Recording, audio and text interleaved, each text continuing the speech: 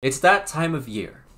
Eurovision. Hope you like this new uh, little setup I have here. I just kind of wanted to experiment, so I don't know if this is going to stay or not. But if you guys do like this, then um, I'll actually try and improve this, because uh, here's a picture of what it actually looks like, this setup yeah, not so great. So if you do like this, then I'll actually improve upon it and make it something permanent. So what exactly is Eurovision, you may ask? Well, I think really it's just a song contest unlike anything you've ever seen before. Every year you'll be greeted by a wide variety of music. Just to give you a rundown of what to expect in Eurovision, you got your ballads, pop songs, innovative and creative songs, songs that celebrate ethnic values, diversity, and then the weird but this isn't just a song contest, it's more so a live stage performance contest as well. Whatever is happening on stage means just as much, if not even more, than the vocals themselves. So because of that, those weird songs can actually become fan favorites for how wacky and entertaining they are. Now even if you haven't watched Eurovision, you may be familiar with some of it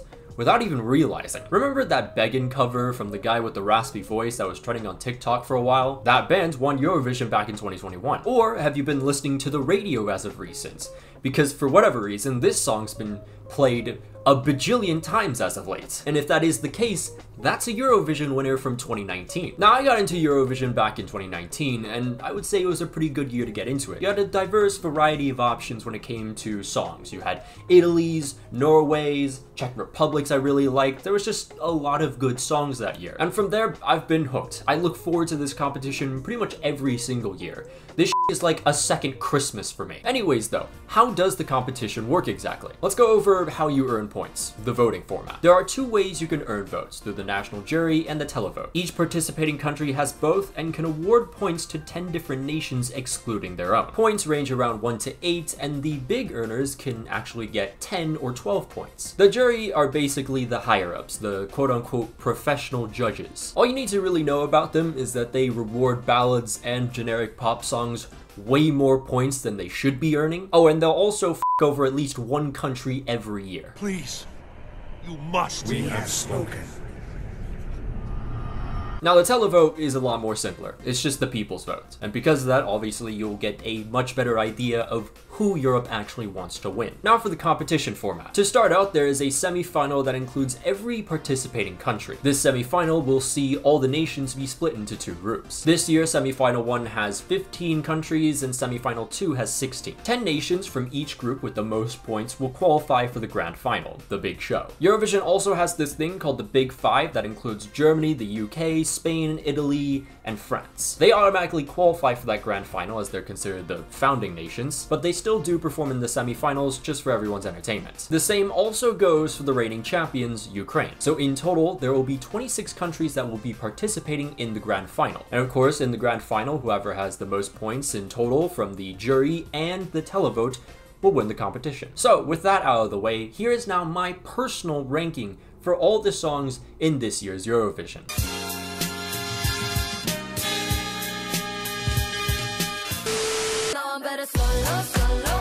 I'm putting Poland here for one reason and one reason only.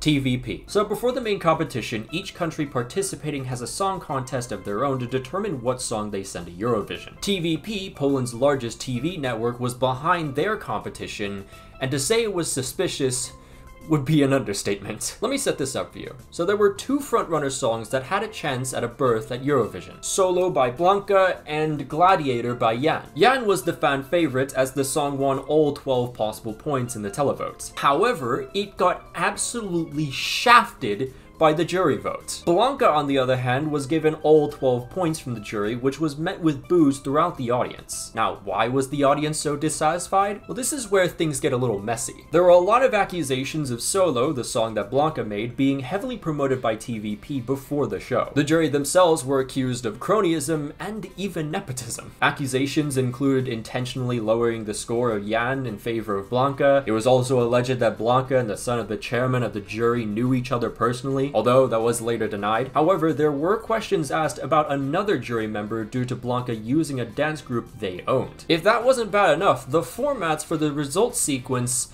was changed multiple times by TVP, right before the show and even during the live show. The later change was the most odd because TVP decided to only show the overall votes instead of the actual detailed televote votes. They would actually be pressured into doing so the very next day. And maybe this is a little more subjective, but Jann's song is significantly better than Solo. It's not even a question. TVP quite literally rigged the competition to bring a mid song instead of a certified top 10 in my opinion. But to end this one off, if you want some more entertainment, just go and look at the comments and also the likes to dislikes ratio of Solo. I promise you, you will not be disappointed. Tell me more about me. You are... Azerbaijan's song feels like a late 2000s insurance commercial ring. I don't know why, but this free credit report ass song's hook is so irritating to hear. Listen, okay, I, I don't want to attack the, the artist or anything like that, you know, they put a lot of work into this. These aren't just like football kits where I look at a white shirt and say, this is absolute dog shit. But I'm sorry, man, this just isn't good. I will say it gets a little bit better towards the end, but that hook, if I hear it one more time, I might go insane. San Marino songs in recent years, very well known for their sexual undertones. Not really sure why, but, you know, they're always pretty catchy. This one's just boring. Really f***ing boring. Georgia is a very interesting case because I do like the sound of the song and also the vocals are really good. But dear God, it, feels like I'm hearing an Asian language being actively translated by Google Translate into English. All I'm saying, right, is that this song is so confusing on so many levels that it kind of takes away from the experience. Listen, in the year 2023, when we have literal subtitles to help us out here, you do not have to make a song in English. Usually you can make up like what a song is saying, even if sometimes the English might be a little broken. That's totally fine. But this, this, I, I can't make that exception. I would have loved if this was in Georgian, because then it would probably actually make more sense, and honestly, sometimes songs that aren't in English just sound better. I mean, you got you got stuff like Life is Love, Thing is Known. What does that even mean, bruh? Iceland is, um, yeah, it's it's alright. I don't have much else to say other than I really like the singer's energy. I think her performance will at least transform this song because this song really does not match that energy whatsoever. In Eurovision, you will be guaranteed at least one extremely weird song. And this is it. This is the kind of song that you just think in your head, what the f did I just subject my ears to? But over time, that little contagious hook starts to burrow its way into your head. Just so more people understand what this song is about, because not everyone is as curious as I am and goes to the Wikipedia page of every single song. It's an anti-war song with subtle symbolisms that make fun of Vladimir Putin and Belarusian President Alexander Lukashenko without ever mentioning either names. This is due to the fact that you actually can't promote political messages at Eurovision. Belarus tried this last year, and they got suspended. Now, despite this being pretty far down the list and my ears never forgiving me for what they've listened to, please televote, please jury, send this to the grand final because it would be so fucking funny. Malta High reminds me of AJR and also Scream's FIFA 16 soundtrack for whatever reason. Nothing special, just a, you know, generic party anthem, but it does have a very addicting saxophone. I will say that. Greece. What, what do I say about Greece? Well, I liked last year's a lot actually. This year, decent. I like the message. I think it's something that a lot of us can relate to, but I'm just not really feeling it. I don't know if it's the music or the voice. It's probably the music. I don't know. It's just it just doesn't work for me. I know some comments were saying that Ireland are like the Real Madrid of Eurovision. I mean, if you consider it in terms of success, then absolutely. They've won it the most times out of every other nation, seven to be specific. But that was all the way back when they were absolutely dominant throughout the late 80s to 90s. Now it is a completely different story. They've released a lot of trash as of recent. Finally, though, it, it looks like Ireland are slowly getting out of that slump. And hopefully, with their piece of creative director out the window, I will never have to subject my ears to That's Rich ever again. This song in particular, though, feels like an Andrew McMahon in the Wilderness X like fun mashup. You know, remember Fun? Some Nights, you know, th those guys. Vocals are extremely passionate, the music really complements it well. It's just a very good, positive song, you know, I, I, I like it. Do ya? Kevin Keegan's favorite Albanian saying. Very dramatic song, puts a lot of emphasis on keeping strong family bonds through tough times, which is pretty interesting. Unfortunately, I don't think it's gonna do well in the competition just because the music video does a lot to convey that message. And I'm not sure if this will really replicate to the live stage, but overall, I thought it was a pretty decent song.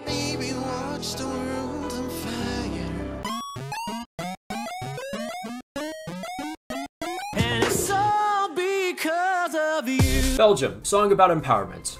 Classic Eurovision. Nothing entirely special about this song, I just really like the hook. Dua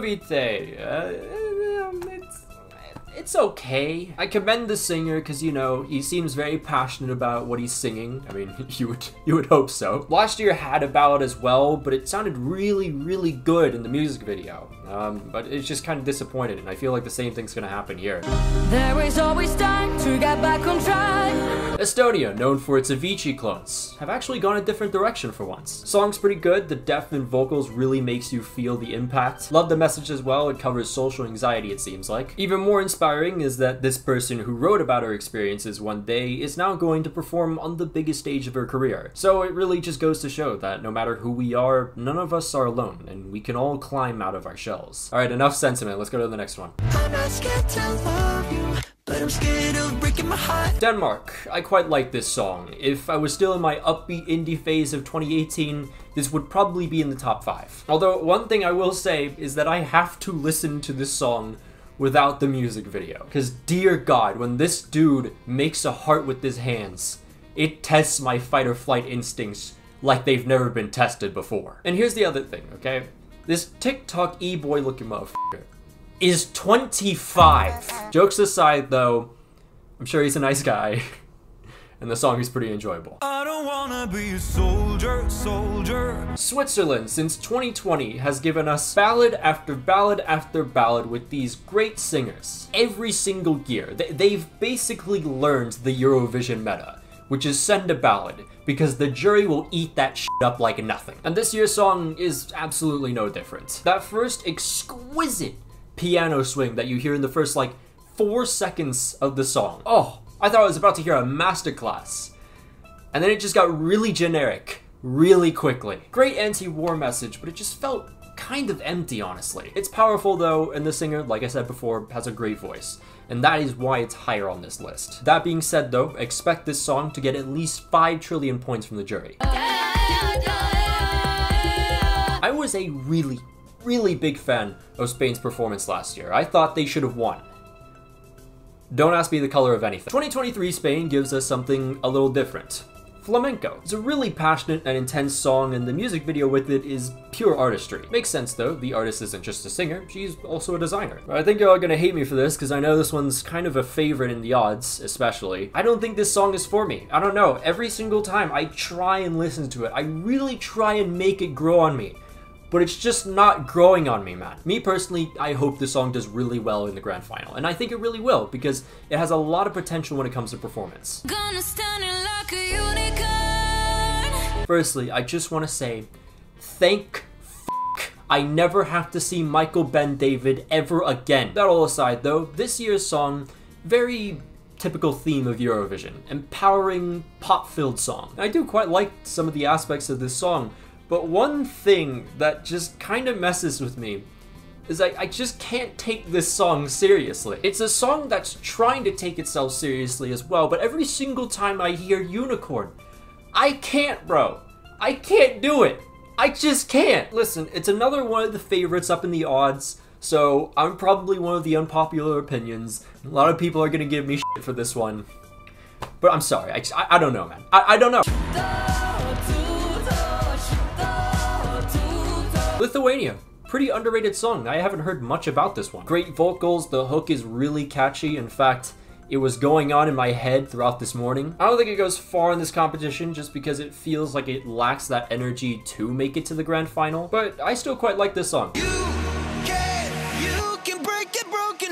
Ah, you can't break a broken heart daily life of a Philly sports fan. I don't really know what to say about this one. I just I just like it. It's very passionate. It's got a cool little story. I think the lyricism is really good in this one. I don't find any joy. Holy shit, it's Joe Jonas! Losing myself on chasing high. So, fun fact Duncan Lawrence, who we've already mentioned before, who won Eurovision back in 2019, is actually one of the songwriters on this one. I really like how this one's kind of designed. It feels like a three arc short film. You get this transition from somber doubts of what am I doing with my life to this upbeat optimism of I'm going to do something different with my life. And that's that's pretty cool. I like that. Song sounds great as well, and just like last year, I think the singers could really catapult this one up in the grand final. Portugal have stopped submitting mid since their win back in 2018, and it is great to see. I know the televote will definitely disagree with me, but I really, really loved Portugal's submission last year. The more I listen to the song that'll be submitted this year, though, the more it has grown on me, and I think honestly it'll continue going up this ranking as the days go by. It's got this Iberian bounce that just makes you want to like dance. It's just so catchy. You know, I, I don't, I, I'm not good at these music terms, okay? All I'm gonna say is it's, it's good. It's a good song. But This guy looks a little familiar. You made me do this.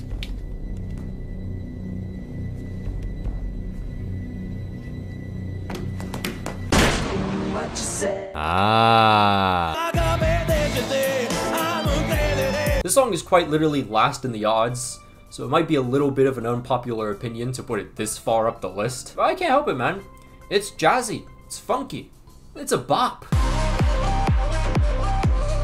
Moldova reminds me a lot of uh, Go_A from a couple years ago. Song sounds great.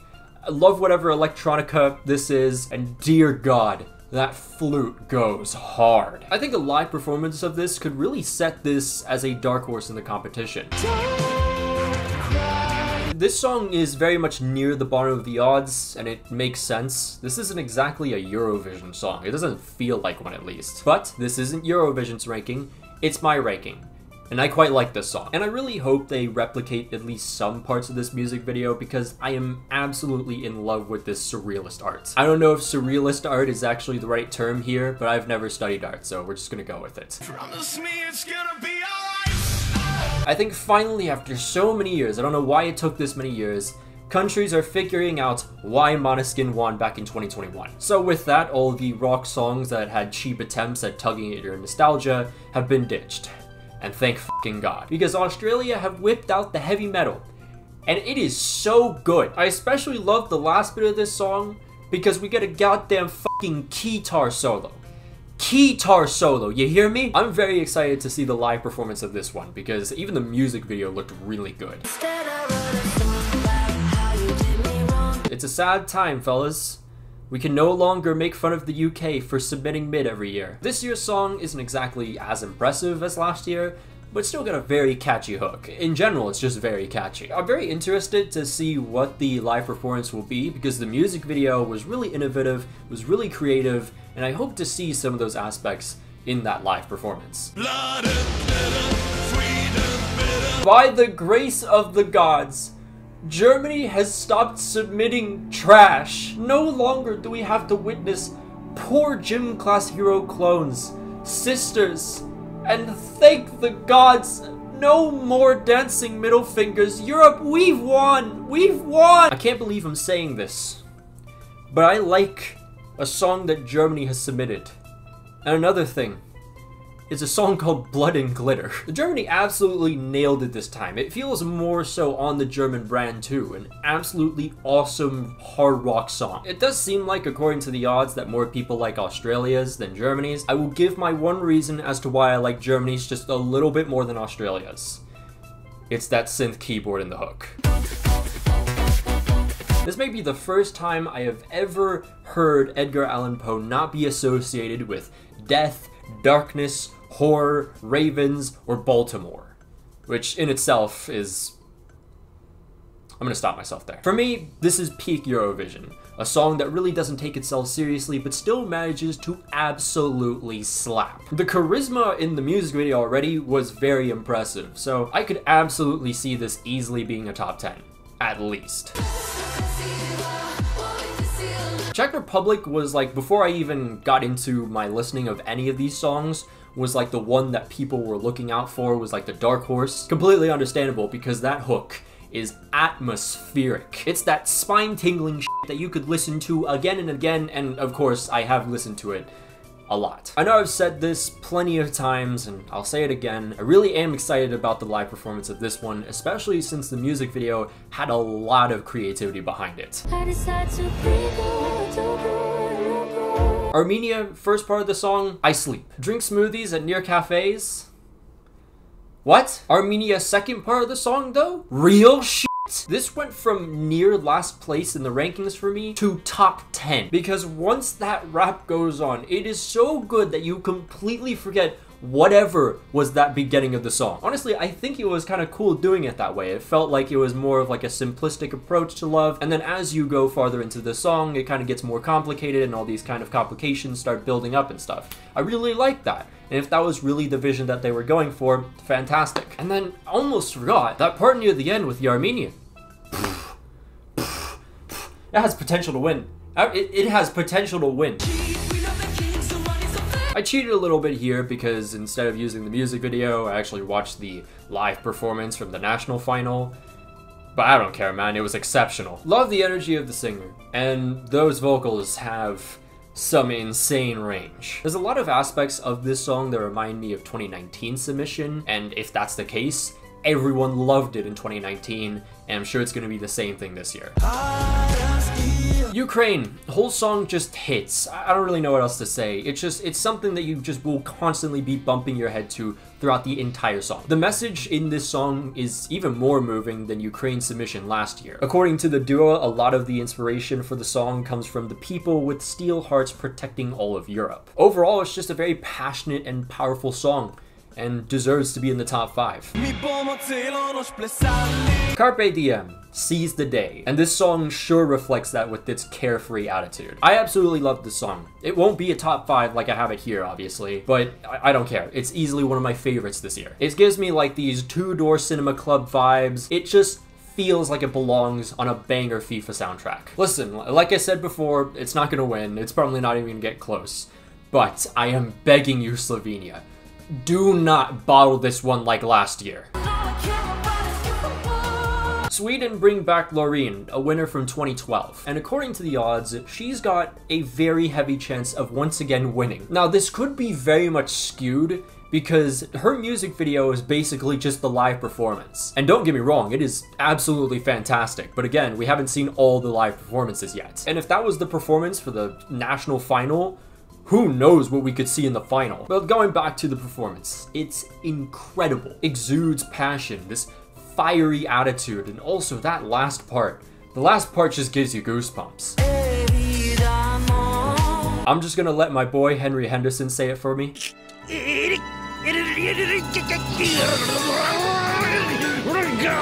Évidemment.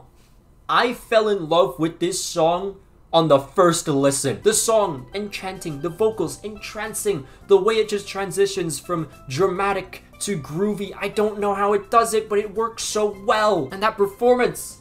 Oh! Overall, I just love the aesthetic of this entire song. That, that's why it's number two. We still have one more. It took a lot, and, and I mean a lot, to dethrone France. But Finland did it. Cha Cha Cha is a banger. I don't mean that lightly. I mean that in all caps. I mean that in 72 font. Actually 100 font. Rap rock to me has always been kind of a hit or miss. More misses than hits. But this one is just out of the park. It's gone. In the lake. I think what really brought Finland all the way up to number one was that last hook. Where it kind of changes a little bit in tempo because it just blew me away. As I've mentioned before, you know, party anthems, they're kind of a typical thing in Eurovision, but quite often they're kind of generic and they lose that kind of party sense to them. But this? Finland's submission? This? This is a proper party song. Easily number one for me. This has to win. So that is the long-awaited Eurovision video. I have no idea when this is supposed to come out. I was gonna do my predictions for like semifinals and stuff, but I don't even know if I'll have this video done before then. So yeah, I will say one thing though for sure, this ranking will change. I don't know if I'll make a whole video about it, but at least maybe mention something on Twitter because I cannot stress this enough.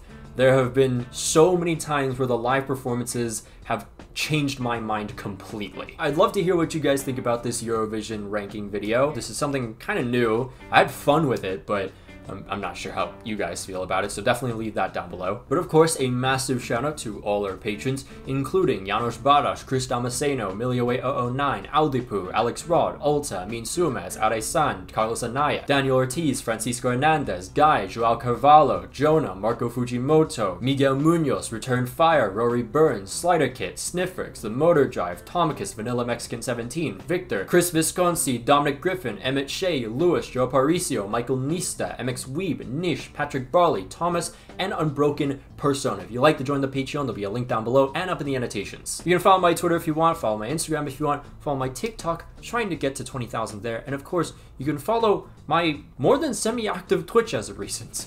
But until then, I'll see you guys.